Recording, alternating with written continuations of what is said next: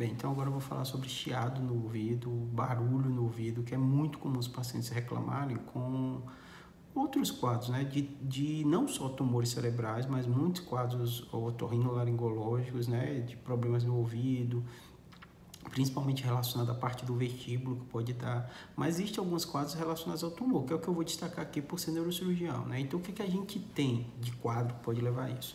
A gente tem um glomo jugular, que é uma alteração vascular, que acaba o paciente tendo essa sensação de cachoeira no ouvido, de um som estranho no ouvido. É muito comum essa queixa nesses pacientes. Alguns tumores também de ângulo ponto cerebelar, não só o neurinoma, mas outros tumores como meningioma que atinge essa parte vestibular também pode dar essa queixa.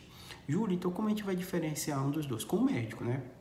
Muitos pacientes, a gente ouve a queixa, não sabe o que é, tem que fazer exame de imagem, e esse exame de imagem vai direcionar as, possi as possíveis causas. Lembrando, a maioria das causas são causas vestibulares, não são problemas mais graves relacionados ao tumor, mas obviamente, por eu ser neurocirurgião, é o que a gente mais vê, são esses quadros relacionados realmente a quadros tumorais. Né? O neurinoma pode dar essa sensação de zumbido, de som, de barulho, né?